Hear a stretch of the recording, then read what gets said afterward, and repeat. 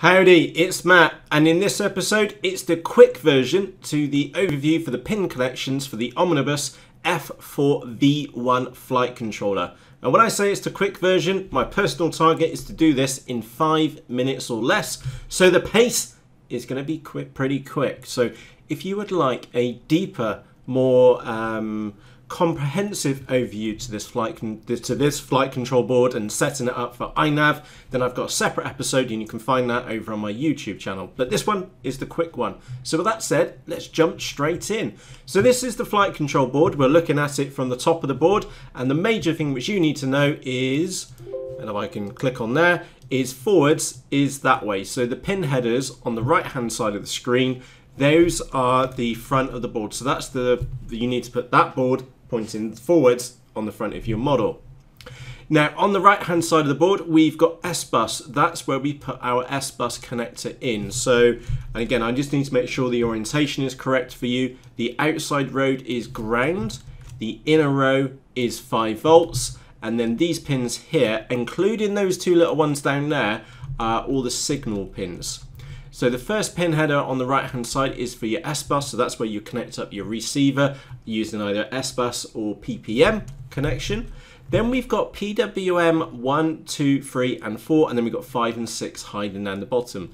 But which ones do you connect up to your servos and your ESC on your model? Well that's the thing, is that it's really straightforward, it's because iNav tells you. If I bring iNav onto the screen, you will then see that we've got a picture of a flying wing here. So one and two are for your motors. Now most uh, flying wings only have one motor on them, so we would connect up our ESC to that pin there, which is PWM 1. Also for our left elevon and our right elevon, they would go to PWM inputs 3, or sorry, PWM outputs 3 and 4. Let me just move that back to the screen so we can see the board. PWM 3 and PWM 4.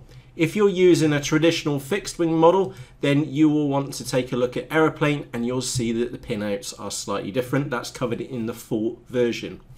Now, there is an important note here around the power supply. I will get to that in just a few moments time, but just be aware there are two different ways which you can power this board. Uh, one is easier than the other, so just think uh, for now, when you connect your ESC, is that that could be providing 5 volts for the board. Look out for that note in a few moments. Now when it comes to FPV, it's really straightforward. You have video in coming into this top pin up here, so that's the yellow wire from your FPV camera. It goes into the board there. And then you have uh, video out, which then is to take another yellow wire and it goes onto your video transmitter. That's how the flight controller board is able to add the on-screen display. We have video coming in, it goes into the board, the board then adds the on-screen display, your horizon bars and whatever else you put on your on-screen display, and then it spits it back out on that uh, on the inner pin, which is that one there, and that's the pin or the wire which you then take on to your video transmitter. Now there is one little note here which we need to take a note of, it's a common ground. Your video transmitter there and your FPV camera, they all need to come back to a common ground, whether that's the ground pins there, or the ground pins there, or the ground pin, or the ground pin there. Okay, you just need to be aware of that. You do need a common ground uh, on your FPV system. Now, when it comes to wiring up your GPS unit, you have ground and then 5 volts. That's the two pins which you connect on. I'll show you how to do that in a later episode. And the other two pins which you need to know about are these bottom two pins which are TX6 and RX6. That's where you connect your GPS unit in so that you're able to receive your GPS signals from your flight controller. Now the last topic which we've got, and I've just can see that I've just been in a hit four minutes. Like I said, I was going to keep this one really quick. Is that there's a special note around wiring, and I cover this in much more detail in the full version which is simply you've got two options as far as it goes to as far as, as it goes for powering your flight control board.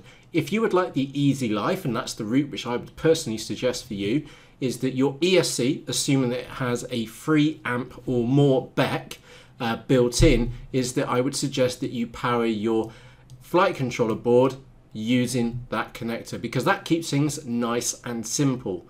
However, you can power this board using these two pins here, ground that one there. So the third one down on the left hand side, on the outermost side, is ground, and then you've got the third one in, and then second one across as VBAT. You can power your board using the uh, flight controller battery up to 4S battery, but just please do go really careful because that there is a F1 flight control board, the board which we're discussing here. I wired it correctly and I completely burnt it out.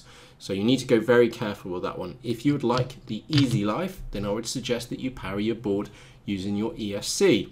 If you would like to see the packed voltage, uh, you can put mains power, look, put full battery voltage into those two pins there. And I'm just going to quickly recap those again. Is let me just click on there, ground onto that pin, and then 5 volts. Uh, uh, sorry, your main pack voltage onto the second one in, which is VBAT. Okay, now that does work. If you're going to do that, you must remember that on your ESC, if it does have a BEC built in, that you'll want to fold that to unpin the, the red wire, pull it out, and then fold it back so you don't get 5 volts from the flight control board and 5 volts from the BEC trying to compete with each other. That's never going to end particularly well. So it's a it's an either it's, it's an either option, not an and option. So you either power the board and your servos using the flight controller, uh, use um, from the V battery, or you use your ESC. Technically, there is a third option which you could use an external BEC to power the positive wire for all your servos, but then that's going to take us take us off quickly off topic very quickly. So there you go. That's the quick overview to the uh, Omnibus F4 flight controller V1 chip. I've kept this as quick as I can. Unfortunately, I failed at my four minute target, but we've done this in seven minutes or less. So on that note, from myself, Matt, Cheerios!